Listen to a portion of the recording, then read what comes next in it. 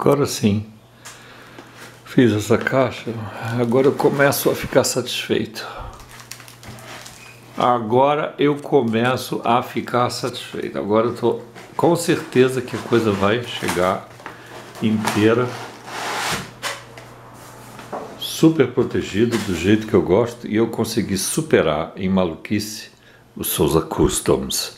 Souza Customs, se você quiser fazer um curso de empacotamento, faz favor de procurar o Kaká aqui.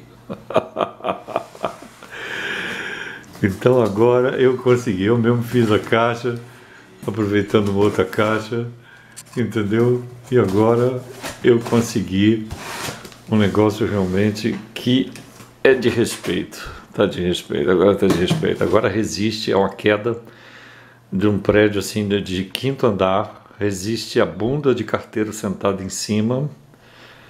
E eu vou tratar de impermeabilizar para uma profundidade até 150 metros. Mas é muita maluquice. Nossa mãe do céu. Eu vou ser internado, francamente. Ah, cheguei no ponto que eu queria. Agora sim eu tenho uma caixa de respeito. Primeiro, impermeável até 100 metros de profundidade. Então o que, que acontece? É o seguinte: se o avião cair. Olha a maluquice. O avião cair, esse negócio vai flutuar, tá me entendendo? No mar. As correntes marinhas vão levar isso aí até a Groenlândia, tá me entendendo? Aí isso vai encalhar numa praia da Groenlândia. Mas como esse negócio é brilhante, assim, bonito, a baleia vai achar que isso aqui é uma foca, porque a foca tem foca de cor marrom.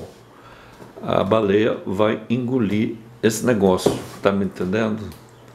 Aí vai chegar um pescador japonês, puta merda, quanta maluquice. Um pescador japonês de baleia vai pegar a baleia. Quando ele abrir o bucho da baleia, ele vai encontrar a caixa com o endereço escrito do Balbinotti. Tá me entendendo? E vai despachar esse negócio, porque japonês é, é, é honesto, vai despachar isso aí para o Canadá. Tá certo? Ou para o Brasil. O Brasil, o endereço vai estar no Brasil. Vai mandar para o remetente, que sou eu. Cacete. Que complicação. E agora? Tem que mandar para o Canadá.